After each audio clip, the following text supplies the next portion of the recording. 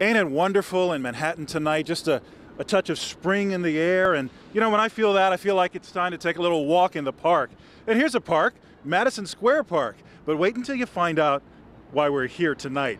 In the park, after dark, dogs joyfully scampering at the run tonight.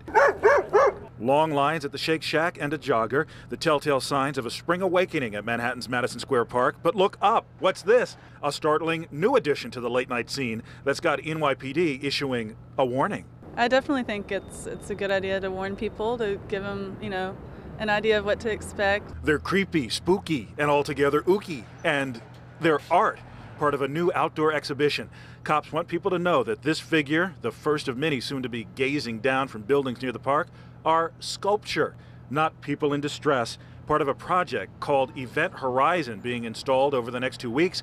I found the artist talking about it on the web. The whole installation is about making a connection between that which is palpable, that which is perceivable, and that which is imaginable. His artwork so lifelike, especially after dark, NYPD was worried the upcoming exhibit might spark 911 calls reporting possible jumpers.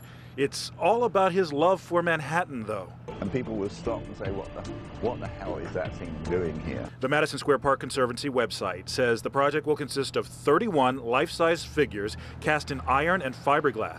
They're being installed on pathways, sidewalks, rooftops for an exhibit beginning March 26th.